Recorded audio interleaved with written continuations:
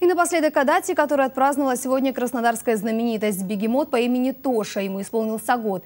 По этому случаю в меню животного появился, появилось праздничное блюдо – торт. Это подарок от работников сафари-парка, основой которого стали любимые тошиные яблоки, тыква и морковь. Наполнили их виноград, киви, кабачок и другие полезные лакомства. Украшением гастрономического шедевра стала поздравительная надпись «Свеклы и банана». Несмотря на то, что он очень любит гречку и остальные крупы, мы решили его побаловать. И в подарок ему сделали торт, который состоит из фруктов и овощей.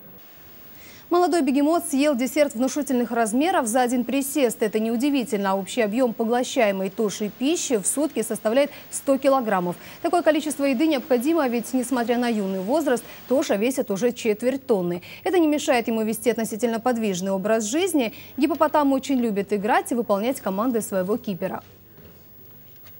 Несмотря на то, что бегемоты достаточно ленивые животные, наш Тоша просто молодец. Он уже, несмотря на свой маленький возраст, ему всего лишь годик, а он уже умеет выполнять несколько команд.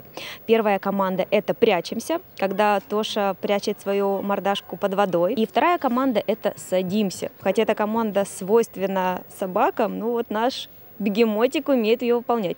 Ну и, конечно, еще одна команда, которую он выполняет просто беспрекословно, это «просим кушать». Напомню, тоже привезли в Краснодар в конце лета из Калининграда. Он стал вторым бегемотом, который живет в Краснодарском сафари-парке. Сотрудники надеются, что он подружится с потенциальной невестой Жужей.